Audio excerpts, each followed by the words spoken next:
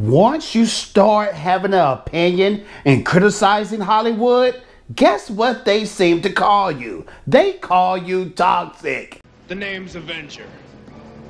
The toxic Avenger. So today, we're going to break down why the Rings of Power Amazon Studios think you're dumb and toxic.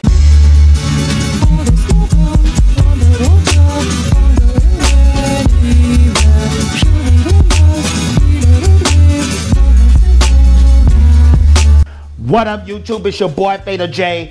Back like I left something, and I'm glad you're here. Yes, I'm glad you're here. We're going to talk about how OneRing.net is criticizing you for having an opinion and think you're benefiting and monetizing things in the YouTube algorithm because of your dislike of the Ring of Power trailer and the changes to anything that has to do with Tolkien, Middle Earth lore. But before we get into that, make sure to watch this video all the way to the end. That is very important.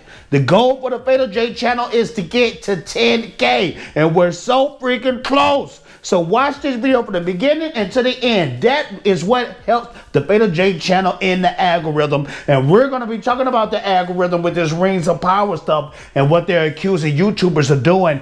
Also, Make sure to like, make sure to subscribe, make sure to hit that notification bell. Because every time you hit that notification bell, it makes your boy Fatal Jay feel oh so good and oh so swell. Yeah. Also, besides the like button, Make sure to hit that super thanks button. All I'm asking you for is a $1 donation. It does great things for this channel, better equipment, and I can make more of a fool of myself for you. Shout out to my Patreon, shout out to my members. If you want to join that, the links are also in the description. Now let's get into the madness with this One Rings of Power, OneRing.net fiasco that's going on. Now, OneRing.net. They're out there acting a fool again. Not to be confused with OneRing.com. This is a fan site that they claim that they was all about the fans and no matter what the opinions are and all this type of stuff, they was for the fans. But I think they are um, in Amazon's pocket Anything that goes against Rings of Power, OneRing.net has proven and shown that they're fighting for Amazon and they're against you if you have something to say about them. But it's just so crazy out there because all fans are complaining about is the changes. Tweet the changes, man. Respect Tolkien. You have to understand these Lord of the Ring books did not just come out in the early 2000s or in the 90s. No, they've been out since the 50s and the 60s. That's why the hardcore is so strong. That's why there's so many dislikes on this Rings of Power trailer because this is a fan base that's been here longer than Star Wars, longer than uh, Marvel, longer than DC. It's been here for a very long time, and fans do not play with this stuff, man. They rather see a big backlash and just shoot down anything that Amazon Studios and Rings of Power have to offer us then to see the changes and the disrespect. Because when you understand Middle Earth lore, when you understand the detail that Tolkien put into these books, the love of these books, just how he just changed the whole scope of fantasy, then you will understand why fans feel the way they do. But shout out to Bounding Comics, they came out with this article right here, and shout out to my Dark Council brethren.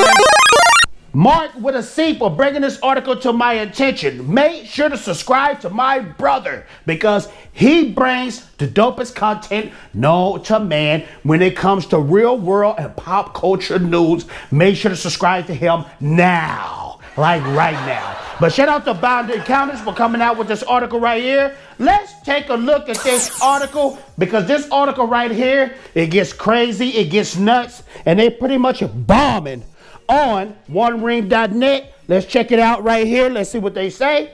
It says, the Lord of the Rings fan site describes fans critical of the Rings of Power as toxic, and they questions their fandom. The OneRing.net, not to be confused with the OneRing.com, continue to attack the Lord of the Rings fans, critical of Amazon Studios' upcoming the Rings of Power series, and even questioned their fandom. Now, you can look at the Rings of Power trailer and see how many dislikes it is compared to the likes. This has never happened before.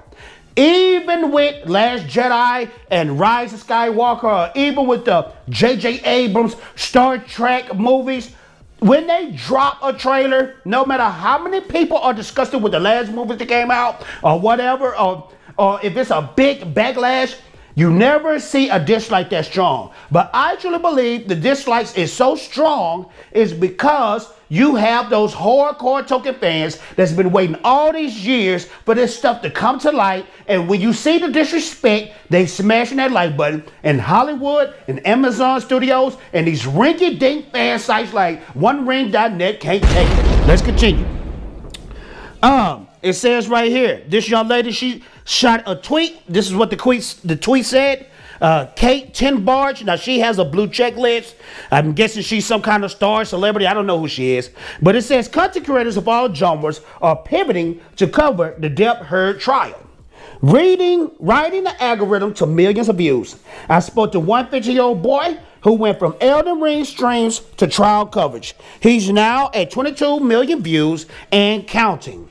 Let's continue with this from OneRing.net because they replied to this lady, and this is key to the video. Watch this. Sharing this for all our fellow Lord of the Rings enthusiasts and media outlets who might get discouraged by toxic Tolkien takes on YouTube. It's the algorithm fault and does not represent an honest view of our fandom. Um, let me explain to you. I'm tired of people saying algorithm this and the algorithm that. They don't understand what the YouTube algorithm is. The YouTube algorithm, just a quick lesson, is pretty much laws that YouTube placed into YouTube. Uh, for instance, it used to be if you had a big gigantic channel, the algorithm would tell, uh, um, it would direct the traffic to their videos instead of a smaller channel uh, with less views. Uh, instead of sending them that way, they always send it to the big channel based on the views and the subscribers that they have. So the small YouTubers would never have a chance. Now the algorithm has changed, where the algorithm is telling uh, YouTube, is the laws are telling YouTube, it doesn't matter the subscribership, it doesn't matter the views. If people are watching the small YouTuber for a very long time, we're gonna send some traffic over there too. Uh, it doesn't matter about subscription. That's why you now you have videos. Uh, you have YouTubers who are very small that can hit a hundred thousand, like like this channel right here. I did a Lord of the Rings video. I hit a hundred thousand. I'm only at eight thousand, but the algorithm has changed. The algorithm does not go by uh, hate or it doesn't go by likes or this YouTuber right here. It's only laws that they give to YouTube. That's the best way I can explain it. So when you see stuff like this from OneRing.net, they have no clue what they're talking about. Let's continue. Uh, it says right here, this behavior from the OneRing.net is not surprising. The website is a fork tongue as Grima War Tongue, Warm Tongue. Now, you already know about Warm Worm Tongue. He was a traitor. He was a traitor. He was he was uh, acting like he was with the, the, the king of Rohan, but you know he was working for Sar- Sar- Saruman. He was a traitor.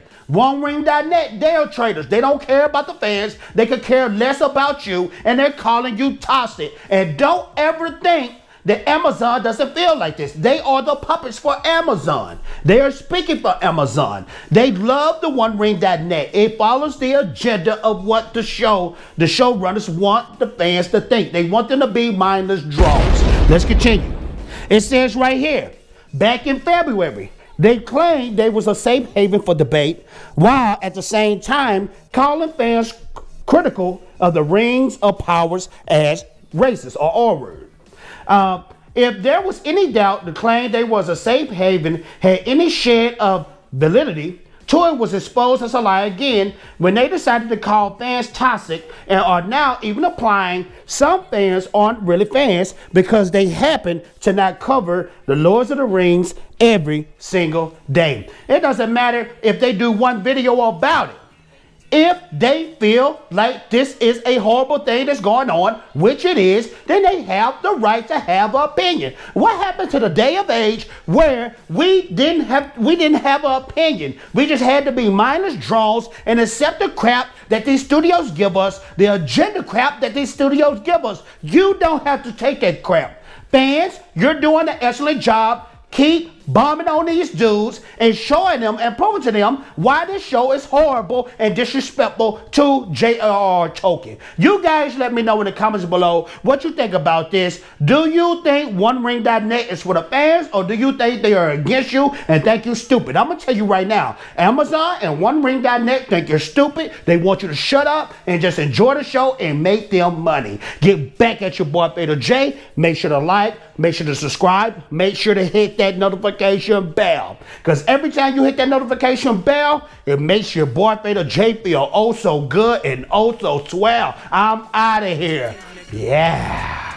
Ninja, vanish. How we do? Yeah. I said, um, check me out.